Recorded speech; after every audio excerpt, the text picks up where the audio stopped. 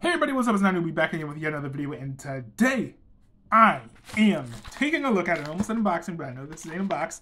Um, I'm taking a look at the physical media release for Sherlock Season 4. Now, I don't have Season 3 yet. It is on the way, though. It is part of this order. So that gap in my collection will not be vacant for long. Um, here we go. All right. So here on the front it says Sherlock was it uh, series four? Yes, they call them series instead of seasons. I don't know why. Um, I kind of like this this art. You know, it, it, ain't bad. It ain't bad. Clearly a composite, but you know, sitting around here in an old dilapidated mansion, kind of curious about how this all came to about.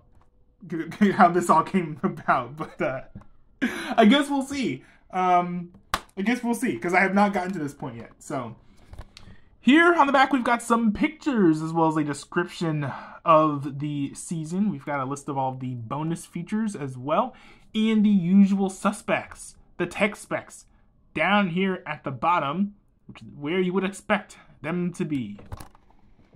Now I'm going to rip off this shrink wrap so that we can see what the inside of this is going to look like.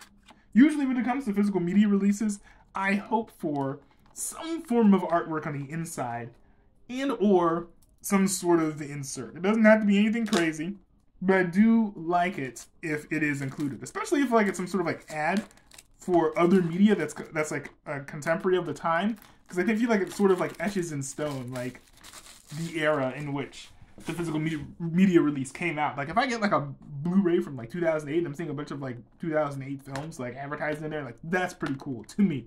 I, I, I appreciate stuff like that. On the inside, alas, we get none of nothing, nothing anywhere close to that. No artwork on the inside, nothing on the back, just plain white, and we just have the two discs, and that's literally it. Kind of a shame, but uh, it is what it is, and I know that the way that they shoot this, the way that it's, it's produced on Blu-ray, this is going to look fantastic, so I'm not going to complain too much, but I'm, I'm slightly miffed. I'm slightly miffed, if I'm going to be honest. Here, we've got the first disc of Sherlock Season 4, and here we have disc two of Sherlock season four. I don't think this says what's on each episode or what's on what's on each disc either, does it? Huh.